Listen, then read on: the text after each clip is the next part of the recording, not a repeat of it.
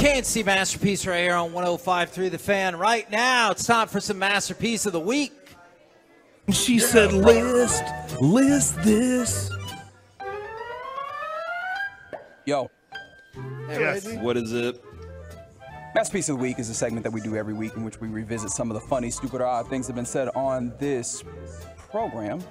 Uh, anybody want to go for it first? I'll take it. Oh, okay. All right. Um, Corey, what were you talking about in this moment here?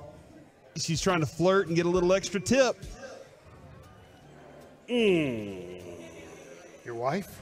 I'm sure. Oh, it was the waitress. The waitress that uh, that she she called the man's sweetheart, and the woman was paying for the bill. And at the end of it, she did not leave a tip because she said the tip said, "Don't call my husband sweetheart." And so she was just being nice. She was trying to flirt a little bit and trying to get a little extra cash. You know, they give you the options of like 15, 20, 25%. And she was just trying to say sweetheart and maybe get 30%. I'll tell you what, there's so many places now. Like if you're at Buffalo Wild Wings, yes, you tip your waiter or waitress. Of course. But there's so many places that you order food to go pick up and you're picking it up and then they throw that thing uh, and they're like, which tip do you want to give? I'm like, I don't know. Do I'm, you ever go custom? I'm literally Yes. picking up my own food and putting it in my own car and driving it to my own house. I think I'm paying enough. I've paid you money for the food you cooked for me. So that's a no tip then. Yeah, but maybe I'm maybe I'm not a nice guy for doing that. I feel like I will tip if the if Uber dude drives it to me or whatever. Yeah. You're saying you go to the restaurant. I go- You go pick it up. Yes. I called in the order. They took the phone call. Good job by them. They put in the order. That was awesome. And then they cooked the food.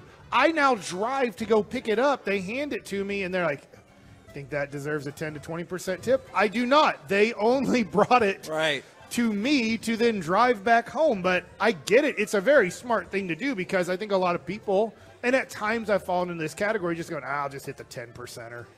Oh, don't- Kevin, you like to go to the pizza place and pick up the pizza. Is Yes. it because you like to drive and see the scenic route there, or is there another reason? No, it's just a lot cheaper.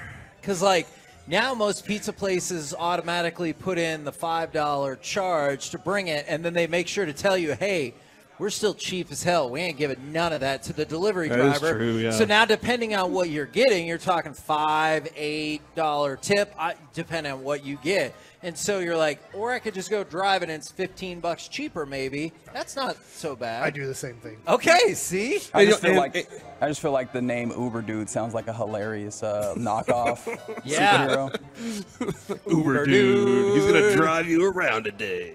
Maybe Mike was like seeing into the future about like you know his his opinion on tipping when he said this. I'm a selfish person and I want this person to please me at all times. Oh my mm-hmm. god.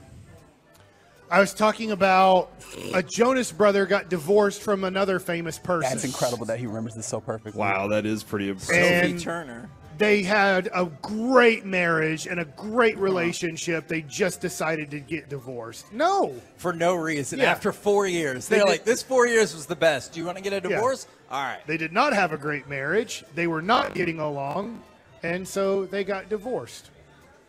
And a lot of times, people regret getting divorced. and Sometimes then they get back don't. together and get remarried, and then get divorced again, Ugh. and then remarry each other one more time. What's, I've seen the, that happen. What's the amount of time you need to be apart if you're going to get remarried? It's like if you had two friends, that got divorced, and then a year later, they're like, we're getting remarried. Are you going to be like, hey, Probably a couple months is what I would think. couple months? Yeah, I mean that's when you realize we. Hey, I, I really liked life. The other with thing you. too is they're wasting a lot of money, right? You paid lawyers and Uh-huh. all this stuff to get divorced.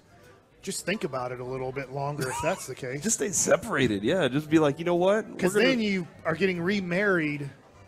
You just do that at a courthouse, right? You don't invite friends. Hey, guess what? We're getting. I went to your first one.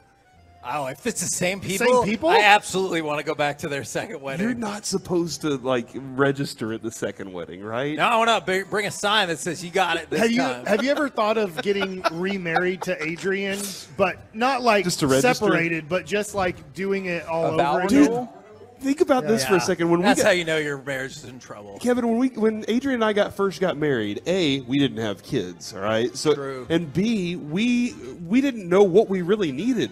So now we're at a point where we're like, man, we really could use this, and so that would be a great opportunity to upgrade some of the. Somebody ate regular food the other day off of the China plates that we got. Like we got seven thousand pieces of China, which just a it's just, Just a put a peanut fancy- butter and jelly sandwich on Yeah, there. you're I was like, this is amazing. Whoever did this, we need to do this. You know what Lucy uses that for now? She uses it to host her uh, her tea parties when she has her friends over. Yeah. She literally will get our, our nice china out to host tea parties. That has to be one of the biggest waste of money in the history of mankind. yes. Like I understand getting glass plates and bowls and everything. They're more sanitary than plastic. I totally get that.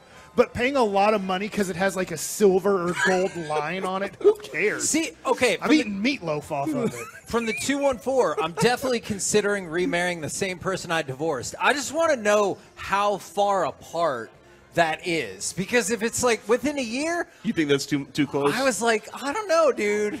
Like if you're like, it's could been sow 10 years, we're different people. Okay, I, I can listen to that for sure.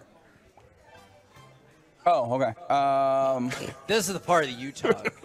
I wasn't sure for a second there. It was a long time where it wasn't where I was talking. Um, Kevin said this.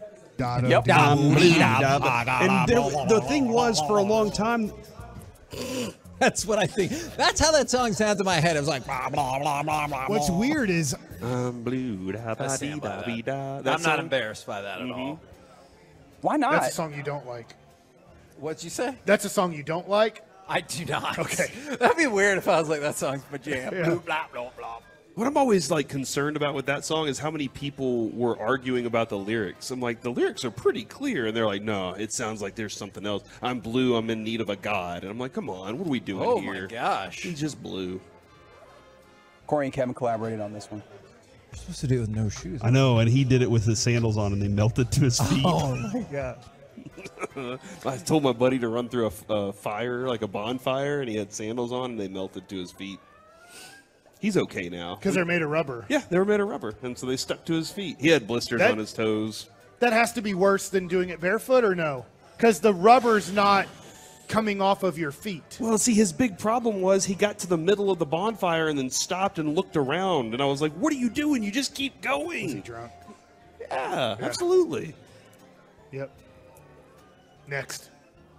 Mike made a declaration. don't have the gall. You've had plenty of time to do this. I am famous. I don't remember what that is about. It's Does not you about say that me. so often. Mm. I try to. Oh, it was Yes. definitely about you. It's about oh. me. oh. I'm famous. Oh, do you what guys could you do with your fame, Mike? Maybe you know, sell products. Oh yeah, what can I sell? You you want to sell everything. You're basically telling every person out there you're famous. You should endorse their product. Well, when I do endorse products, they sell more. it's confusing why people don't use me more when I am 100 for 100 in selling products. The pillow cube. You just talked Yeah, about it. Yeah. You're the even pillow it. cube has so they don't e- they don't even have any more cubes. Yeah. they're having to go back to circles because all the cubes are gone because of my recommendation of the pillow cube. Yeah, man. It seems like that defeats the purpose of the product, man. like we're we're down to circles. okay. the pillow people are like, actually, we have to sell you two pillows Yeah. now. Sorry about that. No more cubes. I wish they made more pillow cube. Um, what do you call them? Covers. Covers, yeah, whatever they call them. Cases, pillowcases. Pillowcases, yes. Yeah. So we're gonna have to work on some of the verbiage if you're gonna be hawking pillow Well, to be that's- fair, Mike says words wrong sometimes. You know, it just happens. What? Please don't blow him in the ninth inning. There's not enough time to make up for that. Game. Do not blow the game in the ninth inning. We only have maybe three more outs to go, or they've walked us off. The ninth inning's a really stressful time.